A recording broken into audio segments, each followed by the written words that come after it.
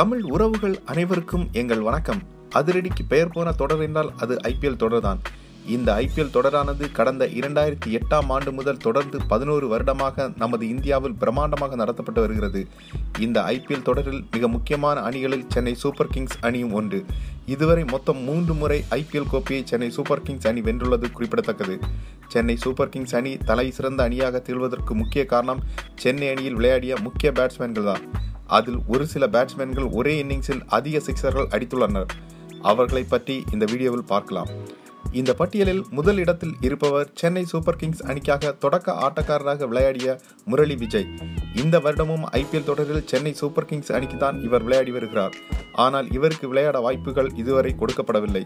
இந்த வருடம் ஐபிஎல் தொடரில் ஒரே ஒரு போட்டியில் தான் சென்னை சூப்பர் கிங்ஸ் அணிக்காக விளையாடி இருக்கிறார் என்பது குறிப்பிடத்தக்கது. சென்னை அணி ஏற்கனவே பிளே ஆஃப் சுற்றுக்கு தகுதி பெற்றுவிட்டது. எனவே இனிவரும் லீக் போட்டிகளில் முரளி விஜய்க்கு வாய்ப்பு கொடுக்கப்படுமா என்று பொறுத்திருந்துதான் பார்க்க வேண்டும். இரண்டாயிரத்தி பத்தாம் ஆண்டு நடைபெற்ற ஐபிஎல் தொடரின் லீக் சுற்றில் சென்னை அணியும் ராஜஸ்தான் ராயல்ஸ் அணியும் மோதியது. அந்த போட்டியில் தொடக்க ஆட்டக்காரராக களமிறங்கி வெளுத்து வாங்கிய முரளி விஜய் நூற்றி இருபத்தி ஏழு ரன்கள் விளாசினார். அதில் பதினோரு சிக்சர்கள் விளாசியுள்ளார் என்பது குறிப்பிடத்தக்கது. இந்த பட்டியலில் இரண்டாவது இடத்தில் இருப்பவர் ஒரு காலத்தில் சென்னை சூப்பர் கிங்ஸ் அணியின் சிறந்த தொடக்க ஆட்டக்காரராக திகழ்ந்த மைக்கேல் ஹசி ஆனால் தற்போது இவர் ஐபிஎல் கிரிக்கெட்டிலிருந்து தனது ஓய்வை அறிவித்து விட்டார் என்பது குறிப்பிடத்தக்கது. இரண்டாயிரத்தி எட்டாம் ஆண்டு நடைபெற்ற ஐபிஎல் தொடரின் லீக் சுற்றில் சென்னை அணியும் கிங்ஸ் லெவன் பஞ்சாப் அணியும் மோதியது.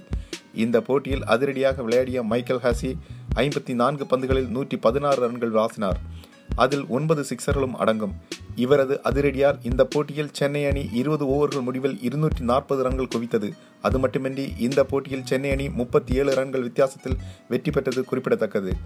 இந்த பட்டியலில் மூன்றாவது இடத்தில் இருப்பவர் நியூசிலாந்து அணியின் அதிரடி ஆட்டக்காரரான பிராண்டன் மேக்கல்லாம். இரண்டாயிரத்தி பதினைந்தாம் ஆண்டு நடைபெற்ற ஐபிஎல் தொடரின் லீக் சுற்றில் சென்னை அணியும் சன்ரைசர்ஸ் ஹைதராபாத் அணியும் மோதியது. இந்த போட்டியில் சென்னை அணி முதலில் பேட்டிங் செய்தது. அப்போது தொடக்க ஆட்டக்காரராக களமிறங்கிய பிரண்டன் மேக்கலம் சிக்சர் மழை பொழிந்தார்.